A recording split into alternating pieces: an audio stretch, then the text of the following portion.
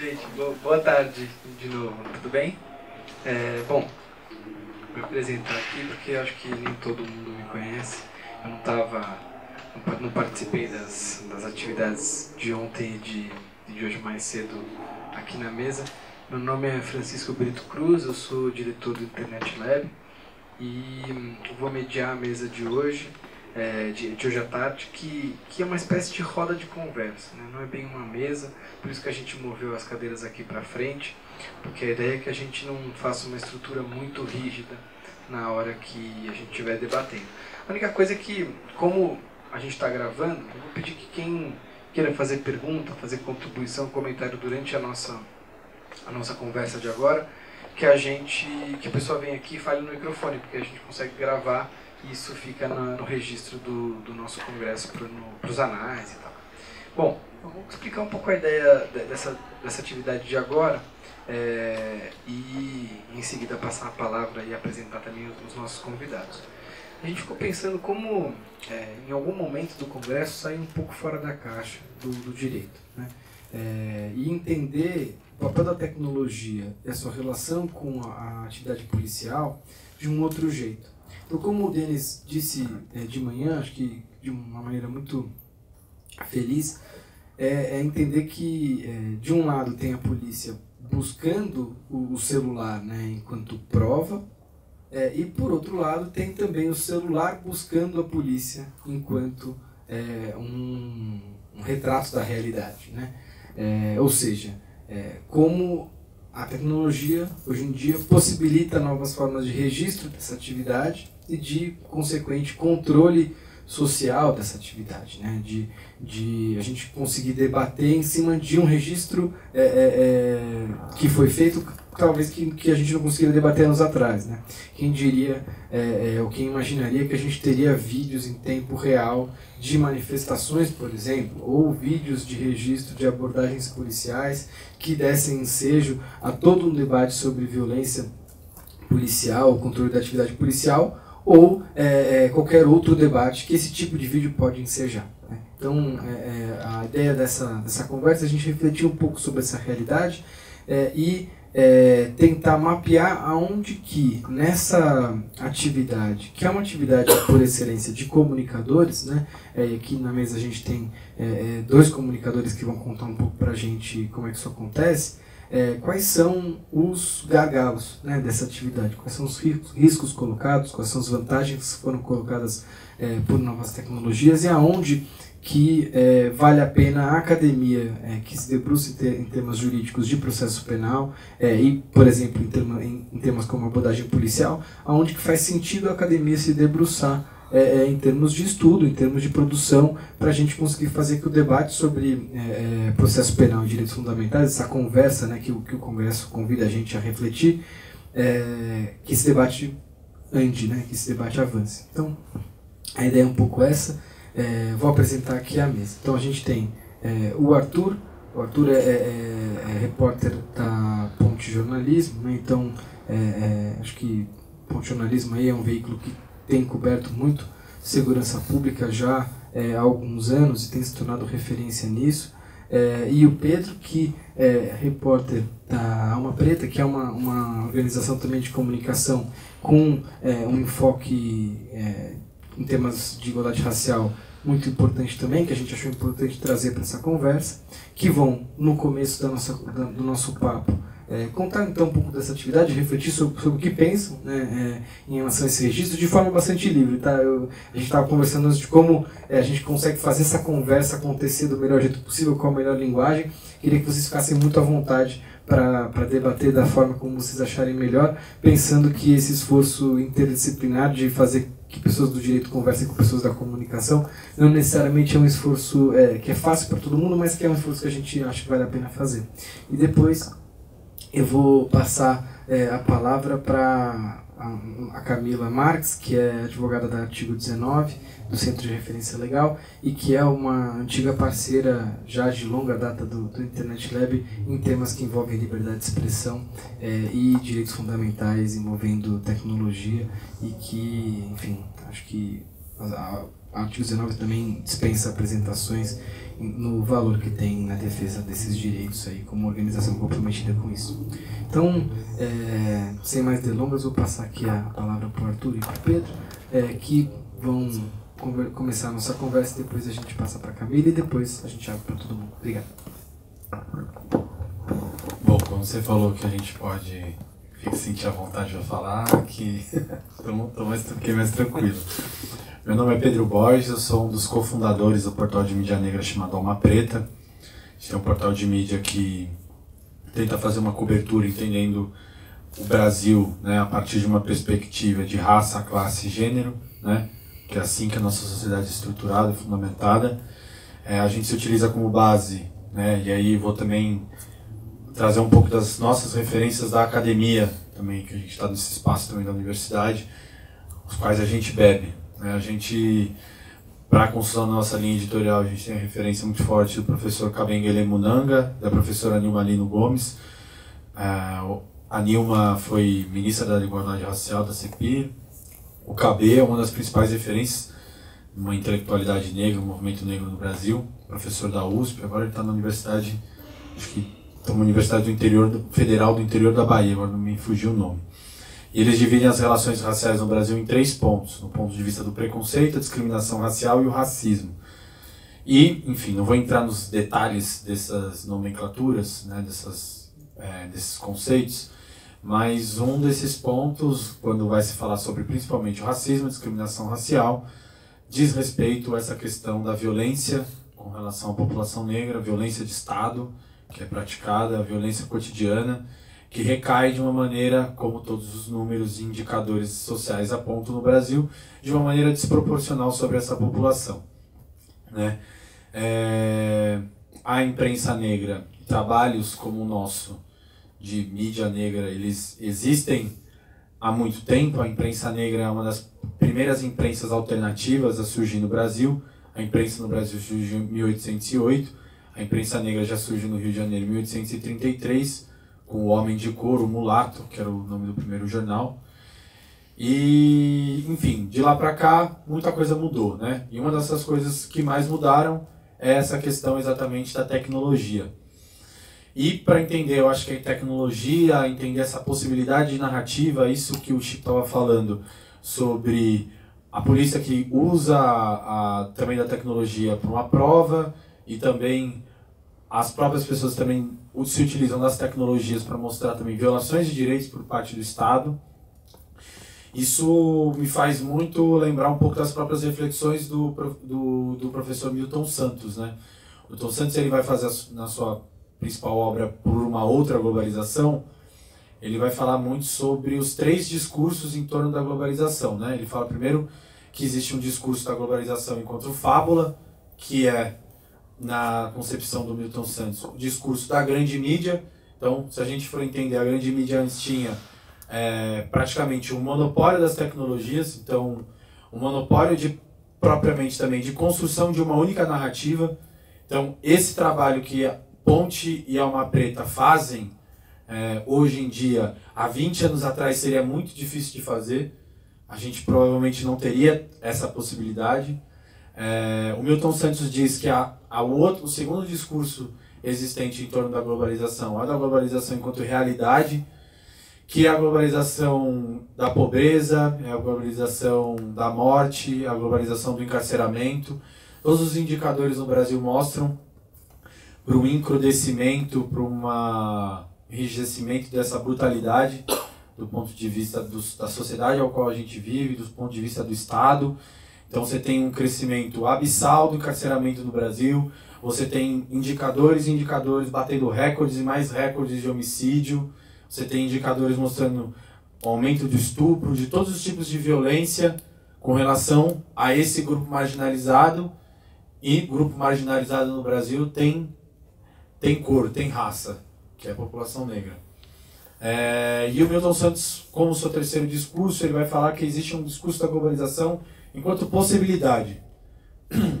Que ele diz que o capitalismo dá um tiro no seu pé na medida em que ele populariza as técnicas e ele se prolifera numa velocidade tão grande que ele precisa né, diminuir o valor do produto para que todas as pessoas consumam aquele produto. E ele diz que nesse processo o capitalismo entrega na mão dessas pessoas armas, né? Que entrega canais, ferramentas extremamente poderosas.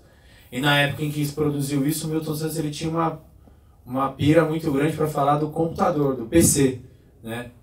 Milton Santos não viu o celular. Né? Ele não teve a possibilidade de ver hoje a possibilidade técnica que a gente tem. Há 10 anos atrás, provavelmente a gente não teria nem dinheiro para ter um site no ar. A gente não poderia colocar um site no ar. Há 10 anos atrás eu não teria dinheiro para ter uma câmera, mesmo que semi-profissional ou minimamente profissional. Então, essa. E, e mesmo, enfim, falando de câmera, né? Mas hoje as câmeras de celular cumprem essa missão, né? Cumprem essa, essa possibilidade, né? Então, hoje você tem na mão de muitos jovens negros das periferias uma ferramenta extremamente poderosa na mão, que é o aparelho celular. E o aparelho celular tem possibilitado a uma mesmo que pequena, mas uma quebra de um discurso único feito sobre a realidade. Então, que hoje a polícia e mesmo o Estado tenha das mesmas ferramentas para produzir isso, é, antes, quando, sei lá, as ferramentas eram, enfim, as únicas de uma câmera que você tem que levar para você fazer a reportagem e tudo mais, isso era uma coisa que, por exemplo, esse jovem negro da periferia não tinha acesso. Hoje, a gente minimamente às vezes tem o mesmo acesso ao mesmo equipamento. Às vezes o jornalista vai fazer uma matéria, vai se utilizar um, um celular, que é o mesmo celular que esse jovem negro da periferia tem. Então ele cria, se cria uma possibilidade da construção de uma nova narrativa, de um novo discurso. E aí são vários os exemplos que podem ser dados, né? E aí também trazendo um pouco para esse trabalho que a gente faz. É, a gente está também falando aqui do campo do jornalismo, né? Então, que é aquela questão que existe aquela falácia, a falácia né, da neutralidade, da imparcialidade do jornalismo. A gente sabe que isso não é verdade, né? Não, nem do ponto de vista da grande mídia, nem do nosso ponto de vista. A gente também tem os nossos lados, mas existe uma questão no, jornalismo está colocado que é a questão da objetividade. O jornalismo ele é uma técnica, ele é uma profissão que exige um respeito a determinados procedimentos, a determinados processos, né? E parte desses determinados processos é você também tentar ouvir os diferentes lados que estão envolvidos com determinado tema. E aí eu acho que isso é muito interessante da gente olhar e fazer esse paralelo com as novas plataformas da tecnologia.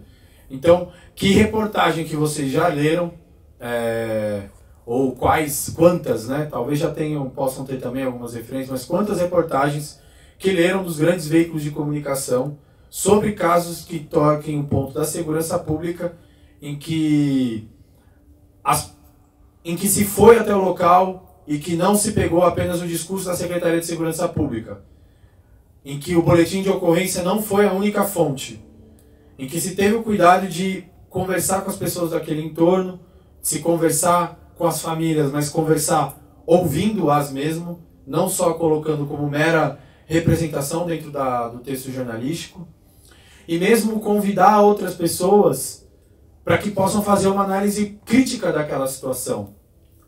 Porque um dos, dos grandes também problemas dessa própria cobertura é, no, que se, no que se coloca, no que se, no que se tem como, como objeto, como, como foco, essa juventude negra nas periferias, é que você muitas vezes tem o perigo de você cobrir casos e o, o transformar determinada situação em uma situação particular.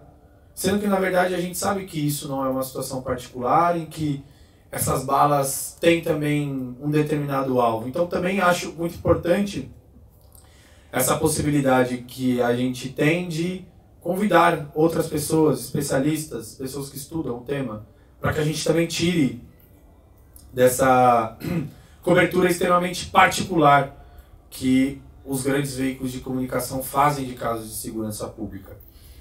Então eu acho que a gente cumpre um pouco esse papel de trazer uma outra perspectiva sobre o campo da segurança pública.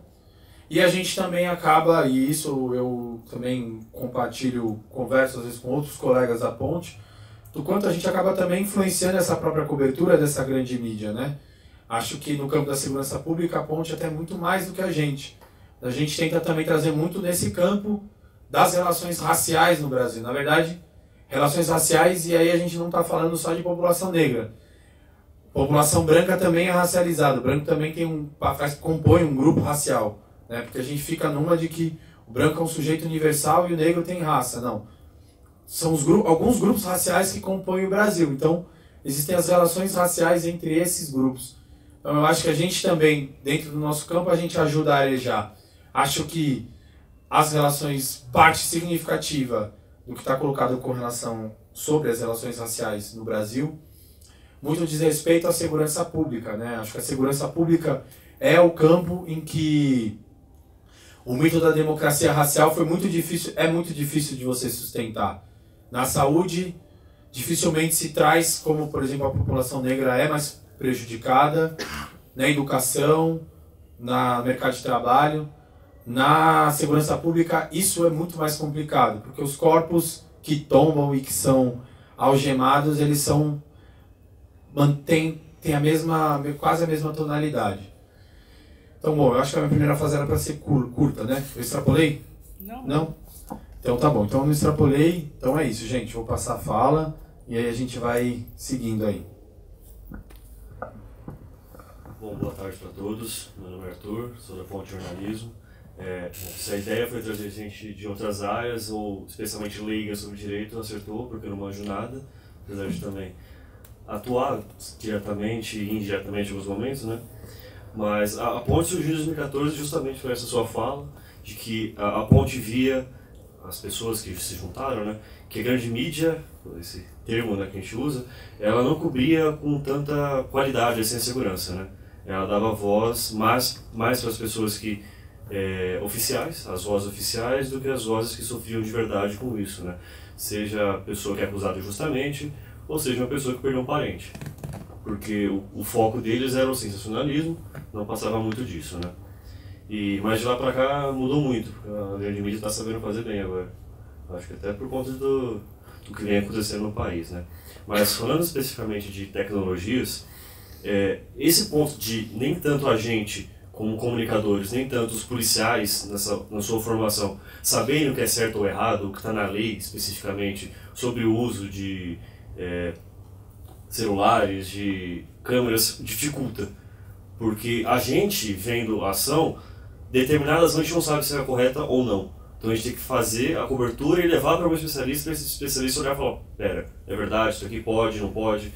Então, é um problema e a gente tem que saber uh, como solucioná-lo na prática mesmo, né? Mas, por exemplo, pegando as manifestações, né, já nesse ano, é, acho que foi a terceira ou quarta aqui em São Paulo, sobre o aumento das passagens, né? É, teve envelopamento da PM, quem ficou dentro não podia nem pegar o celular. Eu me identifiquei como jornalista, eles deixaram eu pegar, os outros não. Então eu podia filmar, mas ninguém podia. Porque eu era o único jornalista que estava no meio ali envelopado. Quem ficou em volta, os jornalistas estavam filmando. Só que lá dentro, os abusos, ninguém estava filmando. Porque eles não podiam tirar o celular do bolso. É, todos os RGs eram pegos, então é, era uma série de abusos que com o celular, que torna toda pessoa um comunicador, é, influenciador digital, youtuber, seja o que lá é, a pessoa quer ser, facilita muito. Só que a PM já descobriu que isso, de certa maneira, em alguns momentos atrapalha para ela. É, ela sabendo ou não se isso é legal ou não. É, e tem vários exemplos disso. Ontem, na operação que a gente teve no Rio de Janeiro, com 13 mortos, sendo dois das Forças Armadas, é, as pessoas que elas eram revistadas, tinham as bolsas revistadas, tinham o celular revistado, e se elas estavam em algum grupo que avisava a operação, elas eram enviadas para o DP para ter uma averiguação, que é uma atitude legal, acho que isso aqui é, é nítido e é da época da ditadura, a averiguação. A gente não tem mais essa lei, não se pode fazer isso. Mas está é, tá sendo feito com base no WhatsApp. A gente não sabe o que, que a pessoa estava conversando. Então a gente não tem uma regulamentação sobre isso, a gente não sabe o que é certo, o que é errado, o que é legal, o que é ilegal. E são vários casos. Por exemplo, já pegando é, condenações, já teve condenação de policial por chacina em São Paulo, é o maior da história, em Osasco, que uma troca de joinhas no WhatsApp foi usada como prova, das provas fundamentais. Só que isso não está regulamentado ainda. Também já teve denúncia do GAECO, que é do Ministério Público daqui, é, contra parentes de pessoas ligadas ao PCC, que eles pegavam celulares delas, jogavam o número no Facebook e vinham o perfil da pessoa e batia, era o celular quente. E isso foi usado como prova para condenar essas pessoas. Então a gente precisa ter uma, um olhar mais atento para essa parte de tecnologia mesmo, porque a gente está na prática, né? a gente não sabe muito bem essas, essas partes. Né? Bom, eu queria mais trazer essa parte de informações mesmo, eu sou um total leigo do direito, especialmente tecnológico, e quero saber o que vocês têm a perguntar, a dizer, enfim. Obrigado, Arthur. Obrigado, Pedro. É, antes de, de passar para a Camila, eu vou comentar uma coisa para ela poder comentar também. Que hoje de manhã a gente teve aqui é, é, o primeiro, primeiro painel do dia foi a apresentação de uma pesquisa que a gente fez sobre decisões judiciais que falavam sobre acesso a dispositivos em momento de flagrante e em abordagens policiais. E a gente viu é, é, uma nessas decisões judiciais uma miríade muito grande de fundamentações é, diferentes aplicáveis a, a, a, esses casos, mostrando que é, a ideia de que você eventualmente necessita, de que se você necessita de, de que se você eventualmente é, pega o celular de alguém, você não necessariamente necessita de autorização judicial para observar seu conteúdo. O que é muito chave né, no, no papel do, do, comunicador, porque é, ele está ali do lado da, da, da do que está acontecendo, está tentando registrar se existia a, a autorização para para que o policial averigue o que está dentro do dispositivo, ele vai perceber que ele foi que ele foi filmado. E isso, em, acho que naquele contexto de calor dos atos, vai significar alguma coisa. Né? Então, é similar à entrada em domicílio sem mandado, né? É, eu, eu acho que, que se essa regra se confirmasse, né, que, que é, um, é uma das hipóteses que a gente mapeou na pesquisa. Né, é, a pesquisa mostra que existem outras fundamentações que afastam a necessidade de autorização judicial. Mas, enfim, isso, isso entra um pouco nessa, nessa confusão que, que, que fica em torno do acesso a esses dispositivos nesse momento. Então, é, é, se você puder comentar um pouco também nos mapeamentos que vocês fizeram, como que o acesso a dispositivos impacta na, na atividade de comunicadores. Eu tenho pergunta para vocês também, mas eu vou passar para a Camila e depois a gente abre para o debate mais geral. Bom, boa tarde a todas e a todos. Obrigada ao Internet Lab pelo convite. Para a gente realmente é muito importante esse espaço Artigo 19 é uma organização de direitos humanos que trabalha especificamente na defesa da liberdade de expressão e do acesso à informação pública. Então, eu sou advogada, lá no artigo a gente tem um programa jurídico, que é o Centro de Referência Legal, e a gente transita muito né, nesse espaço, muito em diálogo com os comunicadores, com o sistema de justiça, tentando entender um pouco como que são essas relações de violação à liberdade de expressão dentro do sistema de justiça brasileiro. Então, para a gente foi uma grande oportunidade e, na verdade, para a gente foi um convite que nos instiga muito. E por quê? Né? O artigo 19 está no Brasil já há 10 anos e há 10 anos a gente tem um monitoramento para entender quais são as principais violações aos comunicadores e às comunicadoras. E, obviamente, acho que muitos de vocês sabem, mas eu posso afirmar, através do nosso monitoramento, que a atividade de comunicação hoje em dia no Brasil é uma atividade de risco. Né? O comunicador e a comunicadora no Brasil sempre foi alvo. Alvo de diversos atores, mas alvo também do Estado, dos agentes do Estado. E aí, quando a gente olha, né, nosso monitoramento já tem 10 anos, e obviamente de uns anos para cá, a gente viu que existe uma nova dinâmica na comunicação, que já foi, acho que, muito bem falado aqui. Então, a gente tem, obviamente, hoje em dia, todo indivíduo é uma mídia, a gente tem novas formas é, estruturadas de comunicação, então a gente tem muitas mídias independentes, a gente tem coletivos, a gente tem é, formas diferentes, instrumentos diferentes como os streamings, né, as transmissões ao vivo e por aí vai. E isso, obviamente, também torna esse quadro de violações mais específicos, né? Então, se antes a gente tinha uma série de violações que sempre apareciam no nosso monitoramento, Hoje em dia essas violações elas dialogam muito com esse novo cenário.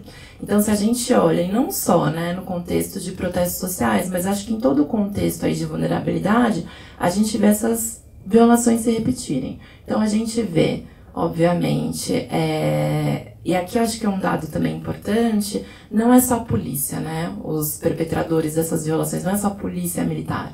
A gente vê, na verdade, que é um espraiamento. Aí todos os agentes do Estado, hoje em dia, já sabem muito bem como é, acessar dispositivos e o que fazer para impedir, de alguma forma, que o material dos comunicadores ou os materiais desses dispositivos sejam publicados. Então, a gente vê desde policiais militares, a guarda civil, a agentes das Forças Armadas, isso ficou muito claro no Rio de Janeiro por conta da intervenção militar.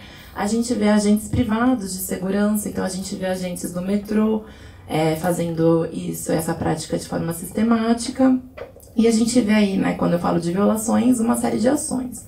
Apreensão de, de equipamentos, não só uma apreensão legal, mas a gente já viu casos em que comunicadores foram furtados por policiais, que a gente já viu, obviamente, algumas situações em que os equipamentos são levados para a delegacia e tem ali uma autuação, tudo bonitinho, mas a gente teve eh, no começo desse ano, não sei se vocês sabem, o caso do Caio Castor, que teve a sua câmera é, furtada. E um vídeo mostra isso, e aí é interessante também. Ele estava filmando, mas também tinham outras pessoas filmando, e através dessas outras câmeras a gente pôde ver o policial colocando ali no porta-mala, não sei o nome, porta-mala de moto, das Rocans. Tem um nome, né, aquele dispositivo das Rocans, mas enfim, dá para ver perfeitamente o policial colocando a câmera ali. A gente já entra em contato com a polícia várias vezes e absolutamente eles não sabem dizer aonde está aquele material. Então a gente vê apreensão, a gente vê furto, a gente vê muitas vezes essa prática do policial acessar indevidamente o dispositivo, mas pedir ali na hora para que aquela imagem seja removida. A gente vê muitas vezes é, delegados, né, no meio aí desses atores públicos pedindo senha desses dispositivos. A gente vê, é, para além disso, né, a gente vê muitas vezes o registro desses comunicadores. Então, é uma prática muito recorrente nas manifestações que os policiais revistem especificamente os comunicadores e façam ali uma lista, um registro, um banco de dados desses comunicadores. Enfim, tem uma série de, de violações que são muito frequentes nessa lista, para além das mais comuns, como agressão, detenção, pelo simples fato de alguém estar filmando, alguém estar registrando uma violação, um abuso de poder da polícia, de algum agente do Estado. A gente, da artigo 19, trabalha nessa perspectiva de entender esse quadro de violações, mas alguns anos atrás a gente se aproximou muito da Witness, eu não sei se todo mundo aqui sabe, mas a Witness é uma organização norte-americana que trabalha muito com o vídeo. Vídeo como instrumento de efetivação e de garantia dos direitos humanos. E eles têm uma série de pesquisas é, para entender como o vídeo pode ser usado como prova jurídica nas cortes internacionais. E aí a gente através de uma parceria, pensou que seria muito bacana entender um pouco como o sistema de justiça brasileiro vem absorvendo o vídeo como uma prova, porque fato é que existem muitos vídeos de violação de direitos humanos, fato é que eles chegam no sistema de justiça, mas a gente não tem, acho que, um diagnóstico tão claro de como o sistema de justiça absorve e entende esse, essa prática. E aí foi muito interessante, porque o nosso primeiro momento foi tentar também fazer uma pesquisa de jurisprudência, para entender quais são os padrões, os parâmetros, e o que a gente viu aqui não tinha nada muito claro. Existia, sim, uma, um uso muito grande dos vídeos em casos de direitos humanos, mas muitas vezes não ficava muito claro qual era o papel do vídeo na resolução daquele caso. Então a gente partiu para um outra, para uma outra forma de análise que foi ver oito casos específicos que está até numa publicação que daqui a pouco eu circulo, e foi muito interessante. Primeiro que a gente viu, e até surgiu um debate, assim, se é tão importante, assim, não se é importante, mas se seria estratégico como a gente poderia pensar na criação desses parâmetros, porque ao mesmo tempo que não há parâmetros rígidos de análise técnica, de validade, de ética do uso do vídeo, é interessante a gente ver se é interessante a criação desses parâmetros. A gente viu que em muitos casos em que esses vídeos foram usados, é, o vídeo foi usado pelos dois lados. Tanto pela parte que, enfim, estava acusando, quanto pela parte que estava ali se defendendo. E aí a gente vê uma disputa de narrativa muito interessante, porque a gente viu tanto casos em que o vídeo foi usado, por exemplo, para absolvição primeira, na primeira instância, e depois foi usada para condenação na segunda instância. Então, não só uma disputa de narrativa dos advogados e da defesa da acusação, mas também na própria compreensão do sistema de justiça. É, a gente viu que o vídeo, assim, ele aparece quase nada nesses oito casos em termos de fundamentação da decisão, mas nas poucas vezes que aparece, a gente viu que o vídeo ele não aparece como prova ali única e fundamental daquele caso, mas ele corrobora outras provas. Então, muitas vezes corrobora o que testemunhas já tinham falado, corrobora outras estratégias ali de prova das partes. É... E, principalmente, o que a gente viu é que o vídeo ele tem ainda uma força maior quando a gente pensa em casos não só é, no processo, no litígio, mas, por exemplo, em acordos, né? Eu não sei se vocês lembram do caso da Cláudia, acho que vocês certamente sim, do Rio de Janeiro, ela era uma moradora de uma favela. Em 2015, ela foi atingida por uma bala perdida, muito provavelmente disparada por algum agente estatal. Ela foi levada, foi colocada no porta-malas de uma viatura, sob a justificativa de que ela seria levada para um hospital. No meio do caminho, esse porta-mala abriu, ela ficou é, pendurada ali, presa por meio de algumas roupas no porta-mala e foi arrastada durante um bom trajeto. Mesmo, enfim, várias pessoas tentando avisar, a polícia avisando efetivamente que ela estava sendo arrastada, a polícia não parou o automóvel, mas teve uma imagem de um cinegrafista, eu não me lembro se foi um, uma pessoa que estava com celular ou foi, enfim, alguém que estava de um meio de comunicação, eu acho que foi alguém com celular, filmou isso. E o caso da Cláudia, obviamente, seria mais um caso que entraria, não entraria para as estatísticas de abuso policial e de homicídio da polícia, mas por conta desse vídeo teve todo um procedimento mediado pela Defensoria Pública do Estado de São Paulo. O vídeo não foi usado na responsabilização dos policiais, mas foi usado muito para a negociação da reparação dos familiares é, da Cláudia.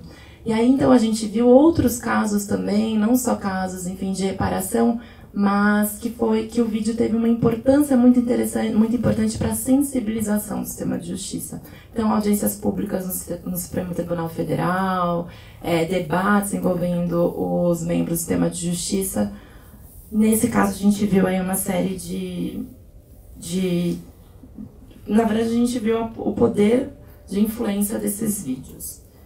É, e também, já encaminhando para o fim, é, a gente vê também que os vídeos eles são muito importantes para a prova de violação sistemática, né? Então, obviamente, para a gente provar que essa não é uma atuação isolada da polícia ou do Estado, o vídeo ele é muito importante. E aí, um caso aqui de São Paulo, que é a CP, Ação Civil Pública, que foi proposta pela Defensoria em 2015 para conseguir aí a criação de parâmetros mínimos da atuação da polícia e do governo do Estado em protestos e manifestações urbanas. Essa ACP, ela é uma CP assim, super é, bem embasada, ela mostra ali a violação sistemática ao direito de protestos em oito casos, é, desde 2011, aqui em São Paulo, e o que a gente viu, que, e teve uma liminar e uma sentença super positiva, e o que a gente vê é que os vídeos, as imagens, elas tiveram um papel super importante de mostrar a sistematicidade dessas violações. Então, vídeos mostrando diferentes policiais em diferentes gestões cometendo o mesmo tipo de violação e a mesma prática. Por fim, aí para encerrar, eu queria trazer dois pontos que eu acho que é importante. O primeiro é também o contrário, o quanto a gente precisa olhar também para a polícia gravando comunicadores defensores de direitos humanos.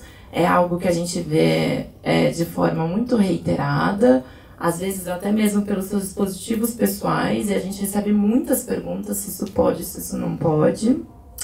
E o segundo ponto, na verdade, é que todas essas questões são muito complexas, né? Então, eu até acho que quero muito ver a pesquisa e, e, participar dos próximos debates, porque a gente, nessa perspectiva de atuação com os comunicadores defensores de direitos humanos, a gente recebe muitas dúvidas. Ah, mas eu posso filmar nessa situação ou não posso?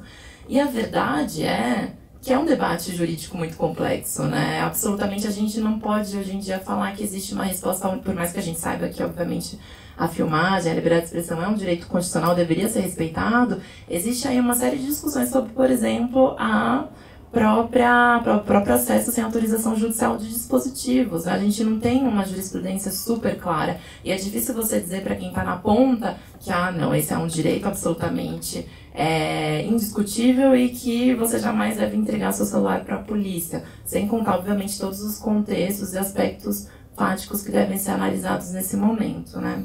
Então, enfim, é uma série de discussões e eu acho que esses eram os principais pontos que eu queria comentar. Ótimo. Bom, eu vou abrir para quem quiser fazer perguntas ou contribuições. É, mas antes, enfim, utilizando a mesma tática que o Denis utilizou de manhã, vou fazer eu a primeira pergunta para deixar todo mundo mais confortável já pensando nas, nas, nos comentários que quer, quer fazer. É, eu, eu, queria trazer algumas coisas, mas é, agora já mais voltado para o papo com vocês dois que é o seguinte, a primeira em relação ao, Pedro, assim, nesse momento é, da cobertura, né, enquanto, enquanto comunicador, é, como que como que as estruturas é, é, é, raciais que, que você descreveu na sua fala se manifestam no momento que o agente do Estado interage com a mídia negra, por exemplo? Né? Qual que é, qual que é o, o, o como que vocês percebem isso é, é, é, na, na vida real, assim? Porque acho que isso é uma é algo a ser levado em conta é, na atividade de comunicador e, por exemplo, se você se alguém é, é, negro, se alguém branco levanta o celular para gravar o, o, agente do, do Estado, né? Então, como, como que você percebe essa diferença? E aí já emendando, só para não ficar monopolizando o microfone muito, já emendando a pergunta para o Arthur, que é o seguinte, como que vocês, enquanto uma, uma organização focada na cobertura de segurança pública, percebem é, é, um tipo de, de cobertura, também audiovisual, que é muito disseminada, que são esses vários programas que, que, que tem aí de gravar atividade policial do tipo Polícia 24 Horas. Né? Aquele que é, é, é vai com câmera junto com, com a viatura na, no atendimento da ocorrência e grava o que aconteceu. Enfim, é um tipo de programa que foi muito popularizado e, e vem meio no pós da Atena, né? vem meio no pós é, é, programa é, vespertino de, de cobertura de segurança pública, é, porque não necessariamente ele vem depois que o fato já aconteceu, ele, ele acompanha todo o processo é, e acho que se popularizou e ao mesmo tempo tem um, um, em muitos casos, acho que o caso que eu, que eu acompanho, por exemplo, mais, mais mais é, é, sucesso é, na Band, né, que, que é aquela é, é, um tipo de programa que tem certo certa ironia com, com, o, com o cidadão que é, é o partícipe daquela, daquela ocorrência que não é o policial. Primeiro porque percebo que, que na maioria dos casos não mostra a cara né, da pessoa. Mas além disso, acho que, que a edição do programa e a edição do próprio vídeo é uma edição bastante irônica. Às vezes irônica também com o próprio policial, vale dizer, mas enfim, é, é, acho que eu queria ouvir você, como é que você, como é que você percebe isso? Bom, tem uma coisa que é que a gente fala de que raça indica classe social no Brasil, né? Então, a primeira questão é policial olhar para mim e acreditar que eu sou jornalista.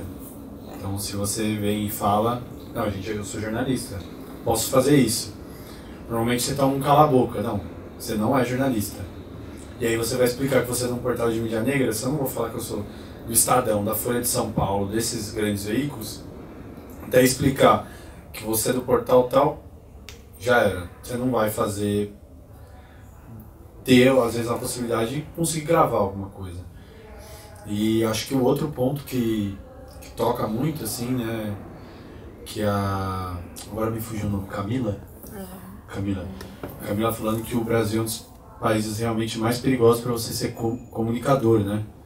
O Brasil também é um dos países mais perigosos para você ser preto, né? Então, você ser os dois aqui no Brasil é muito difícil. É, que realmente te coloca numa condição de vulnerabilidade. A gente, eu não moro, eu não moro mais na. Eu morava na Brasilândia, zona norte de São Paulo, que também é um dos territórios mais violentos da cidade. Então, fazia esse tipo de jornalismo, todas essas coisas. De lá, assim, hoje eu estou morando mais perto do centro, né? Então também me sinto às vezes mais à vontade, assim, para fazer determinadas coberturas. Mas a gente faz parte de uma rede de jornalistas de periferia aqui em São Paulo, que são outros coletivos igual a Alma Preta. E é isso, assim, determinada pauta, dependendo do caso que for, a gente não, a gente não cobre, tenta passar para outro portal, porque a gente fica numa condição de muita vulnerabilidade, né? É... E são vários os coletivos que fazem esse trabalho, né? Acho que hoje, assim, até um que é bem importante nesse processo é o próprio Papo Reto, né, no Rio de Janeiro, que faz uma cobertura também muito, assim, às vezes nem com o formato jornalístico que a gente está mais acostumado, tradicional, né? Mas de jogar muita live, muito ao vivo, assim, tá acontecendo isso aqui, ó. E a partir daí também consegui fazer, cobrir várias denúncias.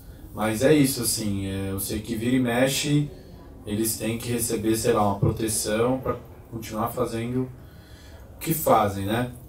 Agora mesmo, nesse momento que a gente vi, vive, é, viveu, assim, né, de pós-Marielle, de intervenção militar no Rio, é, a gente teve até, por exemplo, colegas que jornalistas negros do Rio de Janeiro que vieram ficar uns dias aqui, uns tempos aqui em São Paulo, porque a coisa lá estava muito feia. Então, e de ter esse medo mesmo, né, de a todo momento você ser, porque você acaba ficando uma figura bastante visada, né? É, então são esses os muitos é, as muitos entranhamentos, cruzamentos que fazem dessa profissão, assim, fazer dentro dessas condições, acho que uma situação bastante perigosa, assim, vulnerável e que exige que, que todo cuidado todo cuidado seja tomado. Bom, primeiro que eu não considero jornalístico, né, esse tipo de programa, um programa mais para entretenimento mesmo é, mesmo que seja sensacionalista, programas do Atena, esses policialescos, eles têm jornalismo. Mesmo que eles te, estejam é, se aproveitando da desgraça, ou sei lá, qualquer que seja o termo, mas tem um jornalismo ali que outros veículos fazem de, de outra forma. Mas essa cobertura policial, é, por exemplo, eu nunca vi um excesso policial num programa desse. Então, para mim, não retrata a verdade. Porque é, é praticamente um marketing da ação policial. É, da pessoa sentir aquela adrenalina que o policial sente na, na atuação e a operação sempre ser um sucesso ou então ser uma, operação cômica. É, de um desentendimento de casais, que eles usam muito esse termo, né? É, ou uma apreensão de drogas, que aí já reflete uma política que a gente vê claramente sem resultados, né? do combate, pelo combate, o Rio de Janeiro é um bom exemplo disso. Mas esses programas, a começar, não retratam a realidade, justamente por não ter esse excesso e, para mim, não, não é jornalístico, é entretenimento puro.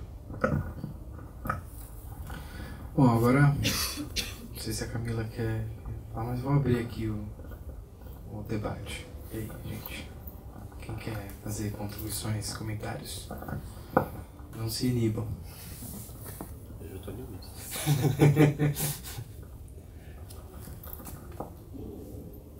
De se apresentar na hora, de for, na hora que você for falar, por favor. Seu nome? É.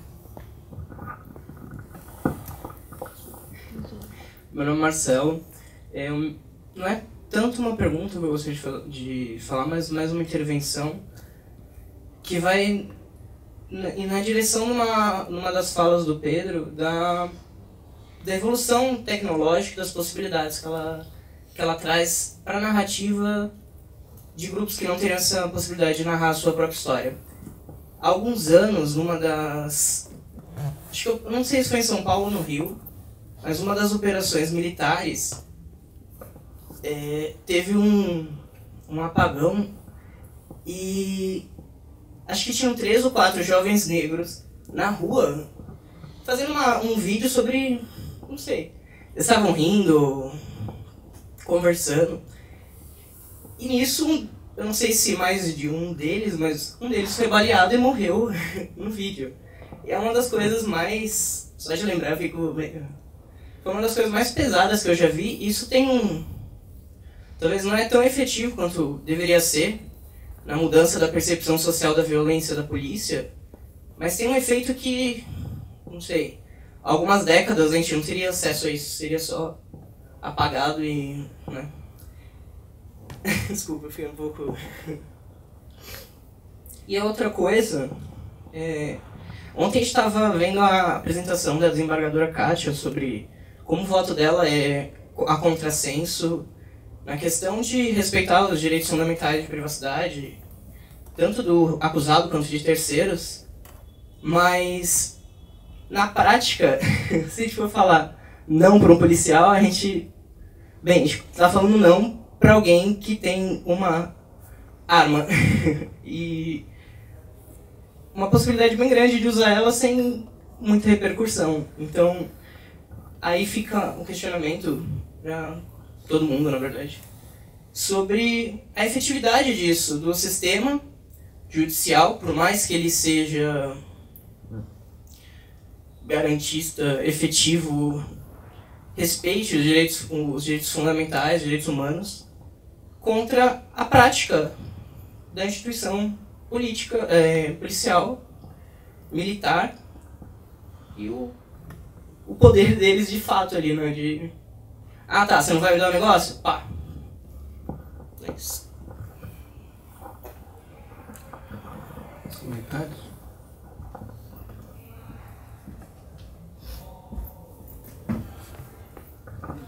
Boa tarde, meu nome é Fabrício.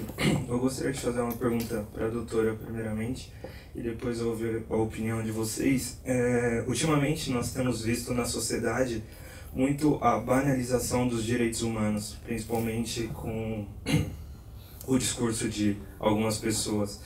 É, eu queria entender, na opinião da senhora, o que, que o que, que pode ser feito uh, para a gente voltar a ter o respeito na questão de direitos humanos, porque uh, no momento que ela, que ela foi criada lá atrás, era para proteger uh, os direitos fundamentais. E hoje em dia parece que cada dia que passa fica mais banalizada e a gente cai no, no bandido bom é bandido morto e isso se aplica a todo mundo. É, e aí direcionando na, na questão da, da, das mídias, qual que é o melhor caminho para a gente seguir? É, porque assim, a gente, eu, eu, sinto a mídia gritando cada um em um ponto separadamente. É, seria, ser, teria a possibilidade dessa união entre as vozes ou essa, esse, não sei se dá para entender o que eu quero dizer, mas esses pontos isolados é, gritando cada um por si consegue atingir a sociedade, assim como determinadas, é, eu quero dizer, lado contrário consegue, falando, ó, oh, aquela pessoa é ruim, vamos fazer isso com ela. É, porque eu entendo a, a a importância do trabalho que, que, que vocês fazem, por exemplo, de vamos criar uma nossa e daqui a gente tem que ir para o mundo. É, não sei se ficou muito confuso o que eu quis dizer, mas é mais ou menos nessa, nessa linha a minha dúvida. Muito obrigado. vou fazer uma rodada aqui na frente. Só queria emendar um pouco a, pergunta dele com, com um comentário que, que também serve como pergunta, que é, bom, a gente está fazendo um debate aqui que coloca uma instituição muito no, na berlinda, né? muito no, no, no centro, na arena ali, é, é, de da gente estar tá examinando, da gente estar tá é, criticando. Né? É, e isso inflama é, os, os, nossos, os ânimos de, de todo mundo, né? porque tanto é, é, porque tem casos de, de muita violência, quanto é, por a gente ter uma sociedade muito dividida em quem acha que, que acredita em uma máxima, uma dessas máximas, ou quem não acredita, e por aí vai. É, dentro disso, a gente observa a necessidade e, e a emergência, na verdade, do debate sobre consumo de, de informação super engajada, de, ou até de notícias falsas. Mas o que eu estou querendo dizer aqui é, é todo vídeo que é produzido tem um contexto. Quando esse contexto é, desaparece, você recoloca aquela, aquela mesma obra audiovisual de registro de alguma coisa em outro contexto, é, nesse ambiente de ânimos muito exaltados, isso é, tem uma série de consequências. Teve para pessoas da sociedade civil, né, e acho que tem em qualquer registro que também enquadra os agentes do Estado. Por que eu estou querendo dizer isso? A gente tem casos aí de de linchamento, por exemplo, né, das pessoas que, olha só, tal pessoa fez isso, isso é provado no vídeo, essa pessoa é tal pessoa, é, é, é, chama tal, tal, tal, e ela tá, mora nesse lugar. E aí, é, por causa disso, é, é, desse vídeo sendo espalhado fora do contexto, porque vamos dizer que aquela pessoa nem tem aquele nome, nem é no Brasil, nem, é, e nem fez de fato aquilo, é, é, a falta de contexto faz com que isso, com que várias consequências sejam geradas no plano, no plano real mesmo, né, na vida das pessoas. Então, é, é, é comentar um pouco, enquanto comunicadores e que usam o vídeo para contar essas narrativas, como que observam a, importância de colocar esse contexto é, e como lidar com o fato de que, por vezes, esse vídeo vai ser apropriado no momento que você coloca ele na rede e o contexto é, é, é talvez desapareça né, nesse processo. Quem, alguém vai se apropriar daquilo e contar essa história de outro jeito. E não necessariamente você vai ter o, o, controle sobre o jeito que a pessoa vai contar essa história. Então, como é que isso é, se coloca na produção desse vídeo? Na hora que você vai filmar, na hora que você vai olhar para aquilo, o é, que, que, você tem que ter, que, você tem que estar na cabeça é, é para tentar, enfim, seja atingir objetividade, ou sabe, sei lá, é, é, o que, que o que, que, a pessoa pode estar comprometida naquele momento, mas o que, que ela tem que estar na cabeça. Bom, passar para Camila aqui primeiro. Bom, é uma pergunta bem difícil. O que, a gente pode, enfim, pensar em termos de ações para garantir avançar na garantia, na verdade, dos direitos humanos? Talvez uma chave, ainda mais quando a gente pensa em comunicação, a gente está aqui falando de internet, mas obviamente não só internet, mas enfim, mídias.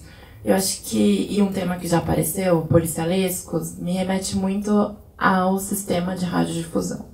Então, assim, eu acho que é muito importante para a gente conseguir ter um debate aprofundado sobre direitos humanos no Brasil, é a gente conseguir fazer esse debate nos meios de massa, né?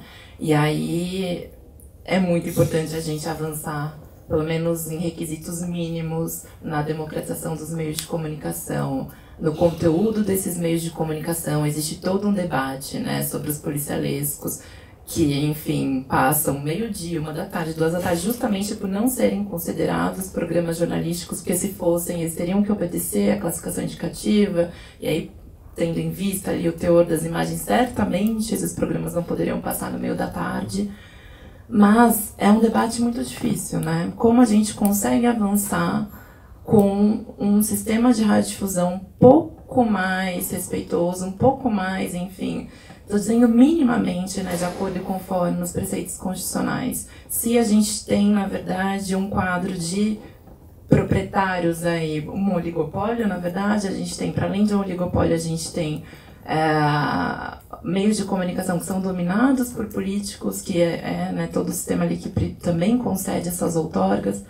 É super difícil a gente pensar em avançar nesse debate, mas é algo que eu diria que a gente precisa começar de fato, enquanto sociedade civil organizada, e aí tem organizações que já historicamente puxam essa pauta da democratização, da regulação dos meios de comunicação, acho que a gente precisa avançar ali na radiodifusão em massa para conseguir também avançar no que são os direitos humanos, como garantir na sociedade de uma forma mais geral. Mas eu também acho que é isso, a gente está em épocas de eleições, então a gente precisa também, nessa época de eleições que a gente tem candidatos, um, obviamente, muito à vontade para, enfim, violar e cometerem discursos de ódio, mas tem outros aí que minimamente não querem ficar com esse papel ali de, de, de autoritários, enfim, com essa narrativa tão pró-discurso de ódio, que eu acho que a gente também consegue puxar um pouco esse debate. É, e um outro aspecto, eu acho que é a própria democratização do sistema de justiça. Né? A gente está numa faculdade de direito, a gente está falando do sistema de justiça, a gente precisa pensar que, obviamente, a garantia dos direitos humanos precisa passar pelo sistema é, de justiça, e não só judiciário, mas Ministério Público, Defensoria Pública, e para a gente ter efetivamente um judiciário mais democratizado, a gente precisa repensar a estrutura desse judiciário, a gente precisa pensar no sistema de justiça mais participativo, a gente precisa pensar no sistema de justiça mais é, diverso, um sistema de justiça que tenha cotas, que tenha, enfim, a população negra, mulheres, enfim, uma diversidade social muito maior também. É basicamente isso. Quanto aos vídeos, já juntando essa parte de época eleitoral, né, a gente tem que tomar muito cuidado, né? Eu divulguei uma matéria hoje sobre a denúncia de uma é, cabo da PM, que ela é da reserva lá do Pará, que ela tinha sido agredida por um tenente. É, eu entrevistei ela, ela deu a versão dela, falou que o cara agrediu ela, realmente é fato, tem imagens, e que a corregedoria tinha ido lá da PM, né, para apenas tirar o cara e resguardar o cara, né.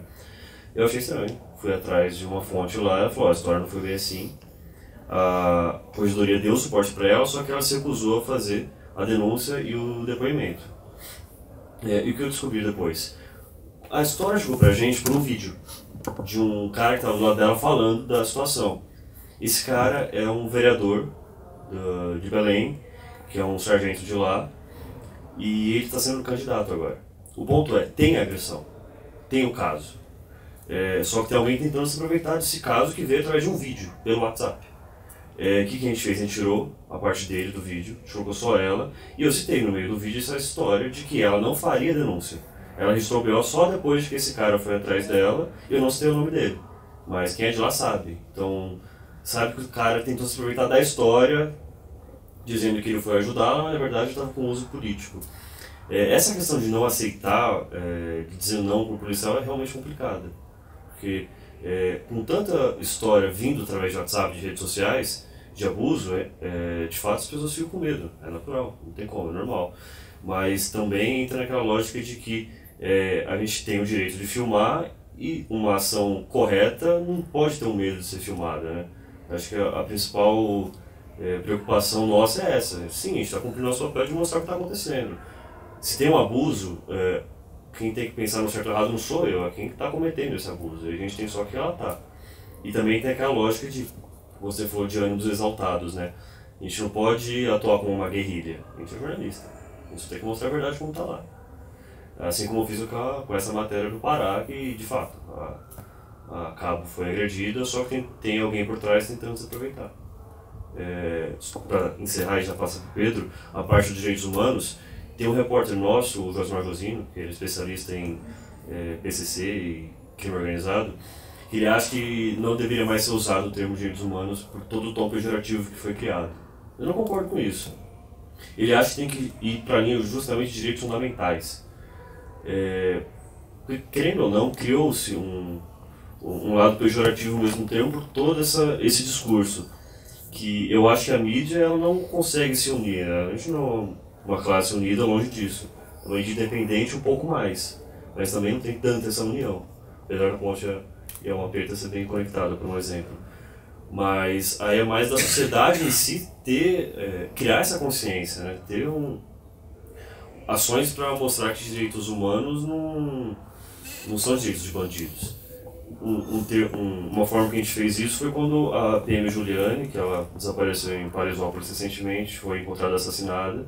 O título da matéria que a gente deu foi PM, é, PM Juliane encontrada morta, um ataque aos direitos humanos. Porque teve pesquisa recente, confesso que não lembro de quem que é, de que dois a cada três brasileiros consideram que direitos humanos é defender bandido. A gente quis mostrar que, pera lá, matar um policial também é um ataque aos direitos humanos. Então, tem, a gente tem que sempre reforçar isso no, no nosso discurso, seja o discurso da imprensa ou o discurso como sociedade em si mesmo. Bom, eu acho que é, a gente acaba construindo uma outra esfera pública de debate, mesmo quando, por exemplo, não é uma coisa coordenada, né? É óbvio que hoje a gente está aqui falando sobre dois portais, que é a Alma Preta e a Ponte Jornalismo, mas existem muitos outros também, né, que participam desse processo. É, uma matéria que foi feita no passado, ela foi feita primeiro pela Ponte pela Alma Preta, mas depois a gente teve também a participação do Nós Mulheres da Periferia, que foi sobre a prisão do acho que é o Igor, o menino, o menino que foi preso, é, era uma história, enfim, daquelas normais de Brasil. História bizarra, o moleque estava na freguesia do Osa, na norte, o crime aconteceu no fundo da zona leste, a testemunha reconheceu ele, pronto, tá preso. Era um menino negro. É, e aí a gente levantou todas essas provas tal, conseguimos fazer essa matéria, acabou, acabou sendo um elemento bacana, o moleque acabou saindo, né? É, depois, quando foi para cobrir a audiência, as meninas do nosso também foram para fazer essa cobertura e tudo mais. Então, existe uma ação coordenada em determinado ponto, mas mesmo quando ela não é coordenada nesse sentido, ela também trabalha na construção de uma esfera pública que se tenha uma, um debate sobre os direitos humanos, né? Então, quando, sei lá, a ponte dá um passo, a gente também dá um passo junto. E eu acho que o nosso campo todo dá um passo junto. Então, eu acho que, mesmo que não tenha uma coisa de uma reunião, um encontro semanal, existe isso. Agora, a gente tem um grupo que aí é um pouco mais orgânico, que é a Rede Jornalista de Periferia, né? Que aí são 14 coletivos das quebradas de São Paulo tal, que aí a gente tem realmente uma organicidade. Se vê, sei lá, 15, uma vez a cada 15 dias, uma vez por mês, a gente tem esses encontros, fazemos projetos juntos e tudo mais. É, e aí muitas coisas a gente pauta junto, né? A gente está fazendo, inclusive, estava fazendo um especial, que era no centro, periferia no centro, que era periferia no centro da pauta, uma coisa assim, agora até me fugiu o nome. Mas a gente faz também coisas coordenadas. Agora, tem-se essa proposta dessa consolidação apoio. Agora, sobre o campo dos direitos humanos, eu acho que é, a gente, óbvio, né, hoje a gente fica um pouco pensando muito na figura do Bolsonaro, né, é, nas, suas, nas suas verbalizações. Talvez no campo da imprensa a gente pense, talvez em cabeça assim, na revista Veja, é, mas eu acho que vale muito a atenção, vale, vale muito a pena a gente chamar a atenção sobre esse trabalho revestido de uma suposta neutralidade da grande imprensa, dessa que ela que parece que não fede nem cheira, né? Então, o nosso governador de estado parece que não fede nem cheira, né, que é o Chuchu, né? Isso é inclusive o jeito que ao qual ele é referido, né? Porque realmente tem uma posição de se, de se colocar muito diferente do Bolsonaro, né? E também desses grandes veículos, como a própria Folha de São Paulo, Estadão. É, a gente fez uma pesquisa recentemente, o Alma Preta e a Ponte, que foi uma análise da cobertura da Folha de São Paulo acerca da crise do sistema carcerário, que aconteceu na região norte e nordeste no início do ano passado, né, nos presídios de Manaus, Al Manaus, Alcaçuz, né, que é coladinho em Natal, e Boa Vista, em Roraima. A gente fez uma análise assim, a Folha, para quem pegou e viu ali a, a olho que já está treinado, acostumado com a leitura do dia a dia, falou, meu, foi feito um trabalho jornalístico aqui, eles não estavam tendendo a lugar nenhum. Aí você vai ver, por exemplo, as fontes. É, quase mais de 70% das fontes ou eram oficiais, fontes do Estado, ou oficiosas, que são por exemplo, um agente penitenciário, um policial militar, que não tem o poder de falar em nome da instituição, mas que tem um alinhamento ideológico muito parecido com o da instituição. Então, 70% mais ou menos das fontes oficiais oficiosas, a voz do Estado, o que se tem de discurso dominante do Brasil falando. Aí você tinha uns 10 e poucos por cento, não sei o que, que eram as fontes que a gente colocou como não oficiais, que seriam as famílias, né, as famílias dos presos que estavam ali no entorno, e mesmo outras pessoas que estavam ali nas cidades, né? Então, Natal, como é uma cidade turística, então também se teve conversa com os próprios turistas dali, falando, é, essa crise aí está atrapalhando aqui a gente, está querendo passear, não tem ônibus. Então essa era uma das fontes. As fontes que a gente colocava como disruptivas, que eram fontes de movimentos sociais, pesquisadores, fontes que poderiam trazer uma perspectiva diferente daquela dominante, elas aparecem, se não me engano, em 6, 7%. Você automaticamente constrói uma esfera de discussão e de debate que é totalmente contrária ao a isso que a gente está querendo colocar, direitos humanos ou direitos fundamentais. Né? Então eu acho que vale muito a pena a gente também se atentar a como muito blindado por esse discurso de ser neutro, de ser imparcial, como a mídia se utiliza da técnica do jornalismo, da objetividade, para na verdade colocar a sua, a sua, o seu discurso, né? Um outro só, só para concluir, um outro número que foi que chamou muito nossa atenção era que, por exemplo, as palavras privatização e superlotação apareceram muito pouco na cobertura da Folha. Em contrapartida, é, com quais eram as palavras que apareceram mais? Falando assim sobre a violência, a barbárie, né? que animalizava aqueles sujeitos enquanto justificativa daquela, daquela, daquela, daquela rebelião. Então, barbárie, decapitado, é, carbonizado, e mesmo, por exemplo, é, palavras que, que colocariam uma ideia de uma guerra entre as facções, e que automaticamente a Folha tinha até um, um, um final muito próximo para várias matérias, que era o governo é, Michel Temer tem, emitiu somente não sei quantos recursos e isso dava para se construir apenas mais seis presídios. Era um discurso ali da Folha pedindo mais presídios. A Folha estava com isso. Quando você coloca as coisinhas, os números, você faz essa. É, você destrincha o texto, você vê que a Folha queria mais presídios. Era assim que se resolvia. Então eu acho que vale muito a pena a gente ver como esse discurso hegemônico, que é quase essa coisa aí do não fede, não cheira, na verdade ele fede muito. Né? Que ele que na verdade também alimenta e muito a gente ter cada vez mais um discurso revista Veja e também cada vez mais um eleitorado forte em torno do Jair Bolsonaro.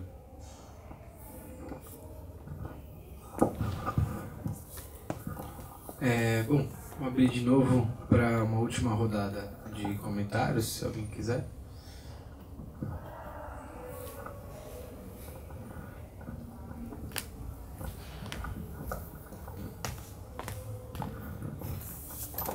Oi, gente, eu sou Mariana, sou do Internet Lab também. E eu fiquei pensando em algumas coisas que têm a ver mais com outras pautas que a gente discute no Internet Lab, que são relacionadas à regulação pelas plataformas, né? É, porque muitas das coisas que a gente está falando aqui tem a ver com um jornalismo é, que, de alguma forma, é possibilitado pelas tecnologias, né, pela internet, mas que depende muito das redes sociais para se espalhar. Né? Não sei se vocês veem da mesma forma, tudo, mas é, é um jornalismo que é Facebook, né? Por aí que as pessoas ficam sabendo, compartilham pelo Twitter. E nesses espaços a gente também está sujeito a outras regras que são as regras desses espaços, né? Então eu fico pensando em como que é, essas regras afetam, se é que afetam, e como vocês veem isso, né? Se vocês têm experiência, por exemplo, de estar falando de uso de vídeo para reportar a violação de direitos humanos. A gente sabe que algumas dessas plataformas às vezes tiram alguns desses vídeos, ou eles caem por causa de denúncias, é, ou então eles não são mostrados para tantas pessoas porque eles contêm algum tipo de conteúdo, né? É, ou isso, ou então discussões sobre o alcance, muitas páginas têm falado né, de diminuição do alcance né, de suas páginas depois de, de mudança de regras de algoritmos. Então, enfim, como que isso tudo que a gente está discutindo se relaciona é, com, é, menos com a mídia tradicional e com o Estado e mais com as regras dessas plataformas mesmo.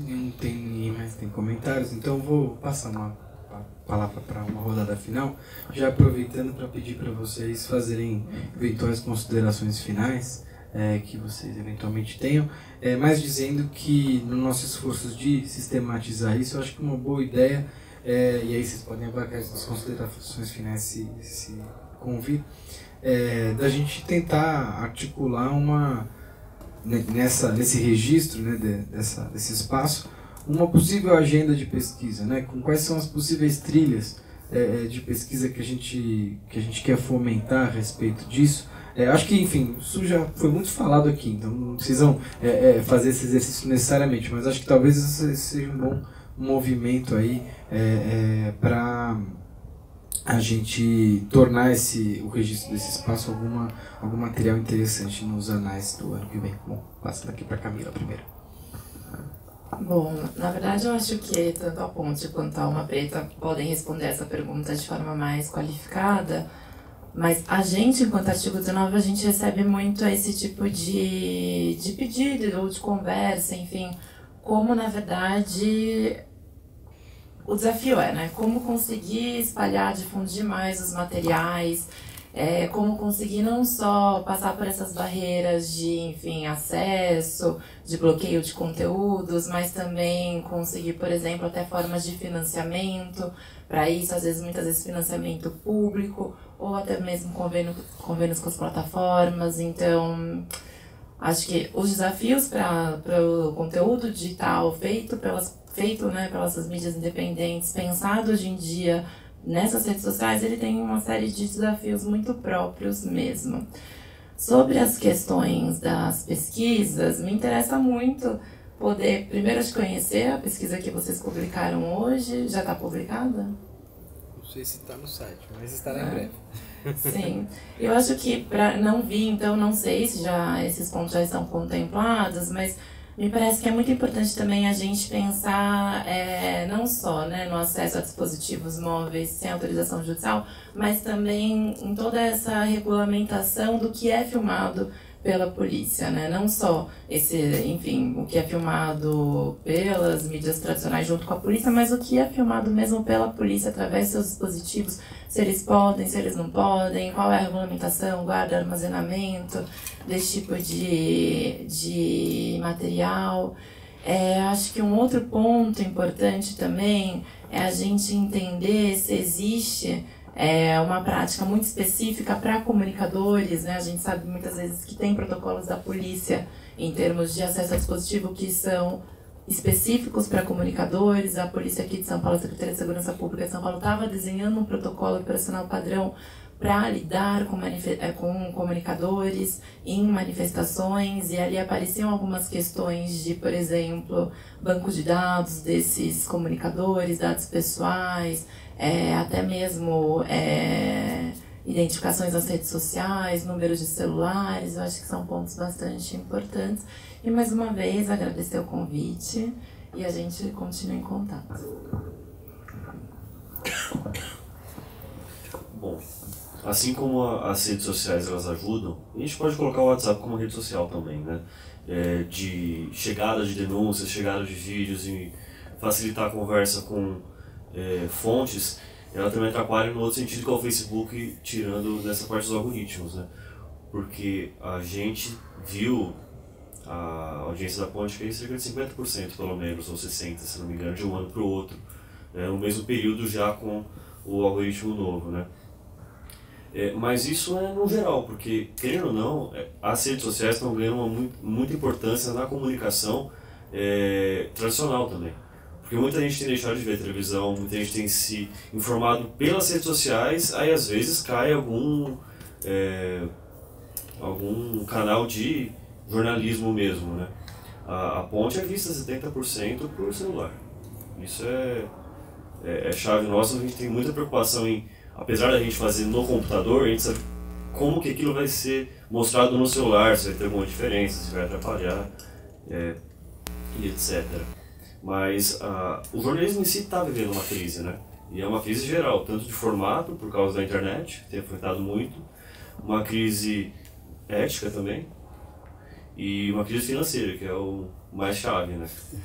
Vimos 250 jornalistas no esporte interativo serem demitidos, mas aí não sei se 500 ou 800 na, na Abril, estão com boato de que por causa da morte do Frias a Folha vai também acabar o agora, vai se unir com o UOL, muita gente vai ser demitida, então é é uma crise geral que interfere também no nosso trabalho, que interfere também no trabalho de muita gente, de como o fazer é, é feito mesmo, né? Com perdão da redundância. Mas eu agradeço o espaço, de fato, juridicamente não posso ajudar em nada, só como exemplo, porque a gente peca muito também nisso, né? Eu faço esse meia-culpa porque eu devia saber muito mais da atuação policial, por exemplo. É, mas a gente apela, né? a gente pega e joga para o especialista. Mas o, a, o governo de São Paulo, por exemplo, ele tem o Olho de Águia, se não me engano, que ele filma todo, toda pessoa que está na manifestação. E naquele caso específico de envelopamento que eu falei, eles estavam filmando os RGs também. O meu tá lá no banco, inclusive. Não sei se como comunicador ou não, mas tá lá. Mas acho que é basicamente isso. A gente tem alguns dilemas aí para encarar no direito e no jornalismo. Bom, é, acho que sobre as redes sociais é bem por aí mesmo. Acho que as redes sociais acabam reforçando também aqueles jardins murados, né, que são colocados, que a gente acaba sempre falando com o mesmo público. Então, a gente acaba tendo uma dificuldade de, por exemplo, fazer com que o nosso conteúdo é, seja lido por um público que às vezes seja bacana. Você tem uma ter uma ter uma noção sobre os direitos fundamentais, sobre as relações sociais, sobre o que está acontecendo a partir de um outro olhar. Eu acho que esse é um grande desafio, né? Eu acho que inclusive outras modalidades de comunicação têm sido feitas. Vou dar alguns exemplos da rede de jornalistas de periferia, né? Tem, por exemplo, um coletivo que compõe, ela chama o coletivo Imagem. O Imagem, que é um coletivo de comunicação de parelheiros, eles trabalham com infografite. Então, eles trabalham com informações nos muros das quebradas de São Paulo. Então, é um grafite, um desenho lindão, que vem com um dado estatístico, que vem com uma informação, que vem às vezes com umas aspas de uma pessoa, é, de uma entrevista. Às vezes eles, pegam, eles, pegaram, eles pegam às vezes entrevistas nossas, se a pessoa deixa uma fala potente, curta, aquela vira às vezes um muro de uma quebrada. Então essa é uma outra forma de você quebrar também isso daí, né? Tem um outro grupo que chama Historiorama, que está fazendo um trabalho é, que agora não me recordo com qual periodicidade que eles fazem, mas eles imprimem umas 10 mil cópias de um jornal impresso e vão para os terminais, agora não me lembro, acho que é do Campo Limpo, é o terminal Campo Limpo, e eles vão às 5 horas da manhã para deixar o jornal lá com as pessoas que. E eles fazem o jornal para esse público, né? Então, eles estavam até me explicando. Ele falou: o público que vai 5 horas da manhã é diferente do público que vai às 7. Ele falou: 5 horas da manhã, normalmente é um pessoal de 40, 50 anos. Falou: às ele falou: às 7, às 8 aí começa a aparecer um, só com 20 e poucos para 30. Né? Então, é uma outra linguagem que a gente usa. Então, é isso, é uma comunicação direta também. Né? Que, que quebra totalmente a lógica das redes sociais. Né? A gente também, lógico, também acaba se, se fuçando e tentando pensar em maneiras de você romper com esses jardins, né? Então, no nosso caso, tem alguns tipos de conteúdo que rompem, né? Que se pra gente é uma coisa muito ruim você estar tá no país do mito da democracia racial e discutir relações raciais é um tabu muito grande, porque as pessoas ficam muito incomodadas de falar sobre isso e muitas vezes debater o seu lugar racial. Você se referia a um, a, sei lá, tá num espaço que chamava, fala assim, ah, não sei o que é uma pessoa lá branca. Às vezes a pessoa se incomoda, né? Então, o nomear racial é muito complicado no Brasil. Mas, em contrapartida, é, como a gente vive no mito da democracia racial, um caso de racismo, dependendo como, se ele for muito bem elaborado e coberto, ele também permite que você fure a bolha e você arraste um monte de outras pessoas para dentro do, do portal. Porque normalmente é todo mundo olha e fica, meu Deus, que absurdo, pressionado, né? A, a Folha tem uma pesquisa que ela fez, acho que foi faz tempo, acho que foi em 2009, de que era de que, sei lá, 97% dos brasileiros assumiam a existência do racismo, mas 3% já, já fizeram alguma, já tiveram alguma atitude racista. Então, as pessoas quando se deparam e contam com uma, normalmente elas se indignam, e isso faz com que também a gente rompa muitas vezes esses algoritmos nas redes. Acho que mesmo um caso, às vezes, de violência muito abrupto, né? Que as pessoas veem, meu Deus, olha isso que aconteceu, né? Mas não, isso é cotidiano. Acho que muitas matérias, às vezes, de vocês também vira, viralizam muito, quando vocês também pegam, às vezes, algum caso, assim, né? Um pouco mais espinhoso. Então, acho que é isso. isso só para fechar com relação... É, foi colocado sobre esses próprios modelos, né? De que essa grande imprensa está fechando as portas a cada dia, né? É muito louco, porque a, imprensa, a grande imprensa está fechando as portas no momento em que mais se tem um desejo por informação, né? Nunca se quis tanta informação, nunca a informação foi tão consumida e nunca os jornais apoiaram tanto e fecharam tanto, né? Eu acho que na verdade... Informação tão perigosa, né? Com fake news agora também. Sim, e na verdade até eles colocam a gente como os, os colocadores das fake news, né? Mas eu acho que isso cria, um, abre um campo gigantesco para a gente trabalhar, porque a gente também acaba tendo um perfil muito diferente, né? Porque a gente também é um grupo pequeno, então a gente consegue se adaptar com uma, com uma facilidade muito maior a determinada mudança. Então você imagina você mexer numa estrutura daquele tamanho que abriu. Olha, o modelo de negócios nosso mudou, agora a gente não ganha mais dinheiro assim, a gente ganha daquilo. É, mu é muito, muito diferente. A gente já tem um grupo pequeno, que você consegue às vezes fazer uma reunião, juntou todo mundo a gente. Então, o que nós fazendo ontem, agora acabou, não vamos fazer, vamos fazer outro, outra coisa agora, é outro jeito. A gente acaba tendo um pouco essa maior velocidade, a gente é muito mais dinâmico, né? Então eu acho que a gente tem um potencial muito grande para que tanto os grupos cresçam, como para que outros grupos apareçam que tenham também um potencial para nos ajudar a construir essa esfera pública que faça um choque, uma disputa com essa esfera pública hegemônica que está posta. acho que é isso e também agradecer. Muito obrigado, espero que tenha colaborado aí. Bom, então chegamos aqui ao fim dessa, dessa atividade. Lembrando que essa será a última atividade, esse é o momento que nos despedimos é, é, do, do nosso congresso, porque, bom, a gente tinha uma atividade marcada para hoje à noite com a Keila Magesse, ela é gerente no WhatsApp na área de resposta a law enforcement, né, a resposta a autoridades é, de aplicação da lei, mas a Keila nos avisou que por um um compromisso aí de, de, na Índia, ela estaria voando exatamente nesse horário que ela faria a videoconferência conosco hoje, e aí com o compromisso da gente é, marcar numa ocasião futura, é, não vamos perder essa oportunidade, acho que aí fica com uma carta na manga aí para os próximos tempos, a gente é, fazer essa discussão com o WhatsApp, né, e, e mas por isso que encerramos por aqui. Então, queria agradecer a todo mundo que ficou aqui até o final é, do congresso, agradecer é, aos nossos convidados dessa, dessa roda de conversa é, e é, avisar que, enfim, isso tudo está sendo gravado tudo bem?